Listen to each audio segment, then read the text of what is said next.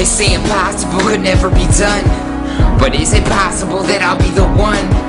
So any obstacle will be overcome with every chord that has never been sung. So I tell them like, eh, I know it, eh, eh, I know it, eh, eh, I know that I'm here to stay. But what's time and where's here? You have X amount of. So yeah, it's been a while since my last arena video, and my last video in general. For those of you who didn't see my bad news video, long story short, my camera is damaged and I sent it off to get it repaired. So I'm currently unable to make video videos. So if you're wondering why the sound quality of this video is drastically different from the other videos, there's your reason. Anyways, I figured since I can't exactly review a battle until I get my camera back, I can at the very least give you all the rules of a rap battle. Granted, these rules aren't etched in stone or anything like that. It's just, after a long history of watching battles, I've noticed a few do's and don'ts and decided to share it with you all in hopes that you'll agree with these rules and that they would make for a better battling experience. I will say that I've already decided on what battle I'm going to review next. I've already reviewed a KOTD battle and a smack battle, so I figure why not do a grind time battle? And the battle that interested me the most was Passwurdz versus Philly Swain. So that'll be my next review. I picked that battle because there's a lot of things in that battle that needs to be discussed, but we'll get there when we get there. So let's get to the rules. Rule number one respect your opponent. I've said this many times to the point where I shouldn't have to. A rap battle is a debate, and much like a debate, the same exact etiquette follows. This is a sport where the main goal is to insult your opponent, so already the atmosphere is suited for things to get hostile.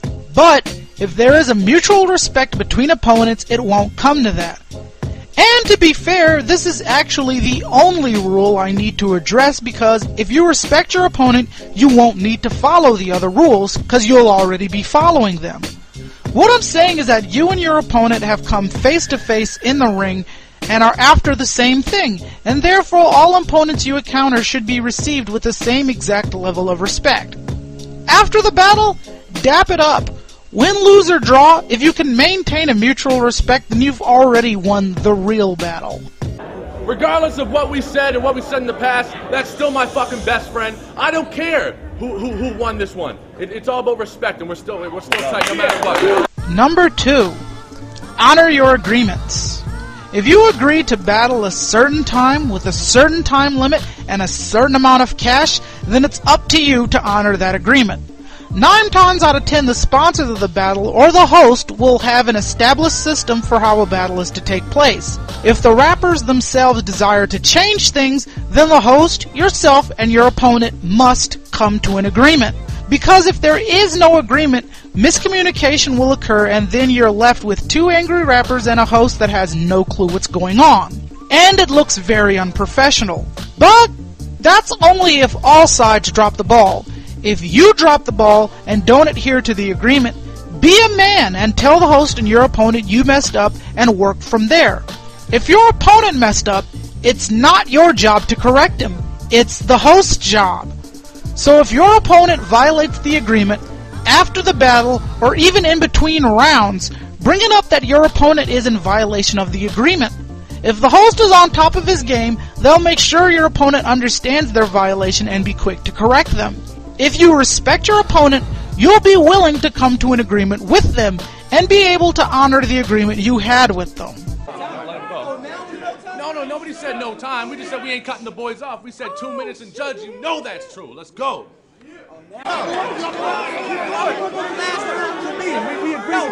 But you tried to play me and said I was scared of some other shit. scared to have it judged. So why not have it unlimited? You scared to have it unlimited. We, we agreed this on Motherfucker, Twitter. you Straight up, man. You know what the deal is. Don't try to switch the last minute. You ain't sucker man. free. You, Straight up. you suck. Number three, do not talk while your opponent is rapping. This goes for the crowd as well as the rappers. This is a no-brainer, but sadly a lot of people don't adhere to this one. For the record, when I say talk, I'm not talking about verbal reactions. I'm talking about literally addressing your opponent verbally while they're rapping. For starters, it's disrespectful and it throws the battler off his game. As I've said before, a rap battle is a debate. Have you ever seen a debate where while one person was giving their presentation, the other was saying something? Of course not! Why? Because it looks sloppy and it's clearly a tactic to throw your opponent off their game. Even the best stage actors can become distracted. I recall not too long ago there was a YouTube video of Hugh Jackman addressing someone who still had their cell phone on during a stage play. No one is above distraction. So, as a sign of respect for your opponent and yourself, shut up. This also goes for the crowd. It's okay to react. I've said this about moviegoers as well. When something funny is said, laugh. When something nice is said, ooh and ah but do not shout out unless you're called to. Do not carry on a conversation on your cell phone. Do not address the battlers in the middle of their round. All of these things will ruin your battle viewing experience as well as hinder the battlers themselves. His homeboy keep talking while I'm rapping. Not cool. The contract said I can't hit this nigga. Not you. Number four. Do not go over time. Yet another no-brainer, but unfortunately this is again an occurring problem in the battle scene. If your time is 2 minutes, then rap for 2 minutes. I'd just like to say that for the record, if you go over the time limit in a battle, I consider that to be an automatic loss in my opinion. Why? Because it's a violation of the rules. What happens in a basketball game when the players violate the rules? that player suffers a penalty. The same should go for a rap battle.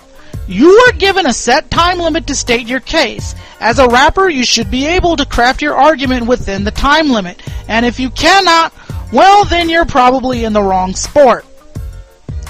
So, for the respect of yourself, your opponent, the host, and rap battles in general, work within your time limit.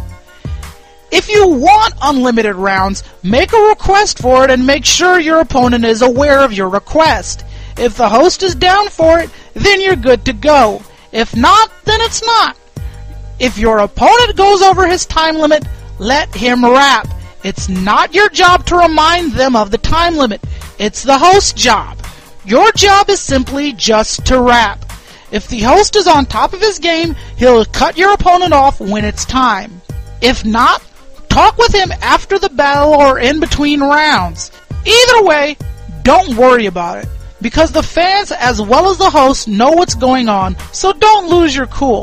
Follow the agreement and spit your round within the time limit you were given. Once again, if you can do that, you can at least maintain some self-respect and a respect for the craft. But His fake looking ugly. Three minutes is up, man. Number five. Don't catch feelings. One thing I don't understand about some battlers is the fact that they still have the audacity to still be offended during a rap battle. Understand something. A rap battle is about verbally abusing your opponent. When you get into a rap battle, everything you hold dear is fair game for your opponent. Your mom, your dad, your children, your wife, your girlfriend, your reputation, your physical appearance, all of it is fair game. And another thing. A good 80% of the material battlers have is completely fictitious, so why get mad at made up stuff? The only reason you would have to get mad at this stuff is if the stuff being addressed actually occurred in the way your opponent said it did. But even then, when you agree to do a rap battle, expect to be insulted. It'd be like agreeing to be roasted and then getting pissed off that the people are insulting you. In a rap battle, no one really means what they say, and at the end of the day, it's all good. But by you catching feelings, you're showing that you're really not able to compete in this sport and you're not maintaining any self-respect. However, on the flip side, if you know there's something that might be said that might cause you to lose your cool, Address that with your opponent and explain it to them. For example, If someone close to you died and you'd rather not have them mentioned in a battle, you're more than welcome to tell your opponent that before the battle. Yo, as a sign of respect to me, could you not use this in your verse? Your opponent may or may not agree to it, and may even consider you to be lame, but he will respect you for coming to him before the battle rather than getting in his face during or after the battle about it. And who knows, they may actually have some stuff that they might not want mentioned either. Granted, I understand that in a rap battle, everything is fair play, but let's be honest here. If you hit the right trigger, some people will swing on you. So, in order to keep the peace, don't take it personally. Your opponent doesn't mean what he says, and neither do you. It makes for a better battle when both sides are able to go back and forth with bars in good spirits. Luke was in Detroit at a club called Lucky's. I swear to God, your man soft. Don't don't you even I was lie. in the club showing love. Swear to your God. Swear to Listen, God. listen. Don't lie. Don't lie. Number 6. Settle your differences in the ring. All too often, an actual grudge will surface, and this could be a powder keg if it's not handled right. When you have two battlers who dislike each other for some reason or another, the best course of action for you both is to take it to the ring. Violence is unfortunately a part of the hip hop scene, and despite a lot of tough talk from battlers, none of them are UFC cage fighters. They're rap battlers, and their disputes should be solved or at least addressed in their respective craft. I mean, what better stage to air your frustrations with a person than a sport completely devoted to that? That just seems logical, doesn't it? So if you're the host of a battle league and you know two battlers don't like each other, set up a battle. It'll it'll be great publicity and a nice productive way to keep violence in the hip hop scene at a minimum. Granted, the loser won't like it, but considering the pride of most battlers, they'd jump at the chance to disgrace their opponent, especially if they actually dislike them. And who knows? Maybe after the battle, they'll actually become friends. It worked for Jay Z and Nas. All I know is building frustrations don't solve anything. The best way to handle any dispute is to address it face to face with the person you have a dispute with and figure out some kind of solution or way of handling things. If it comes to fisticuffs, then it comes to that. But if you're a battle rapper, you should do as your name says and battle.